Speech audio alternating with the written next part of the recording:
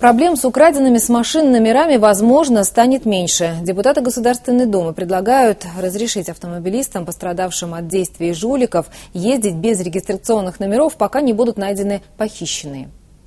Оренбуржье не стало исключением, где в последнее время активизировались автомобильные мошенники. Число пострадавших исчисляется сотнями. Зная последующие трудности, многие не обращаются в полицию, а идут на сделку с жуликами и выплачивают им требуемую сумму от тысячи до пяти. Чтобы прикрыть преступный бизнес, депутаты Госдумы предложили разрешить ездить без номеров, но с подтверждающими факт хищения документами. Разрешенная езда без номеров может сделать многих нарушителей невидимками, опасаются инспекторы ГАИ. Полицейские видеокамеры фиксируют машину и ее номер. Без него штрафное письмо не придет. Законодатели предлагают выдавать до получения постоянных номеров временные по аналогии с транзитными.